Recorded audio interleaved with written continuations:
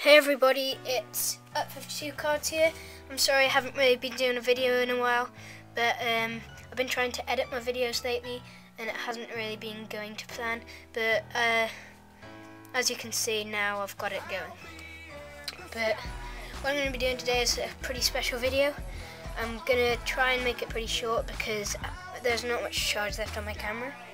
But I'm going to be doing a Davenport, which is supposedly the best magic shop in the world.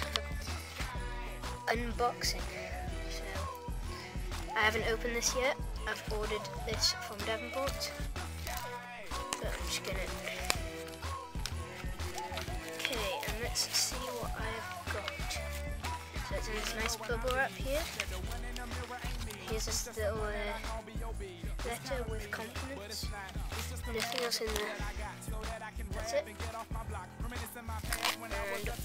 Two things I got were two by David Stone and the Ultra Gaff deck, which is cool.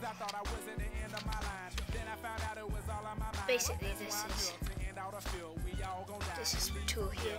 I'm not going to go through it in any detail just because revealing it wouldn't be all that great. In fact, uh, what the hell?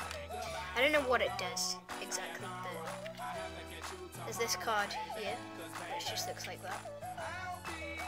And it has a magnet there, so you can stick it on. It doesn't come off there, as you can see. So I think I'm probably one of the first people on YouTube to tell you what tool actually does. So that's Tool by David Stone. I'm not going to go into that in too much detail, but it's just a DVD and then this um, gimmicks. There's a red gimmick and a blue gimmick. And now, the one I've been waiting for for so long, the Ultra Gaff deck.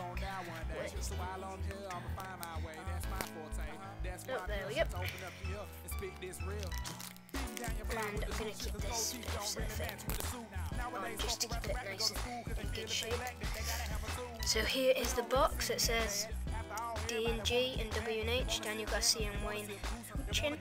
Don't know how to pronounce it. And there's this Ultra Gaff a little devil, I think is it, sitting on there. And then it's got this sort of faded red and then into the actual box. There just says bicycle and then the names of the two guys again. Right there. So, anyway, now I'm going to open the cards then. If I can open the cards. Oh, there we go. Stop there. Sorry about that, guys. But what I was about to do is I was literally about to just go through every single card in the Ultra Gaff deck. But I'm going to save that to an extra video because that video you were just watching was just going to be way too long, okay? Now, just to make up for the fact that I'm not going to go through all these cards now. I'm going to be doing my first trick with Tool by David Stone, okay? Using one of the Ultra Gaff cards, so here goes.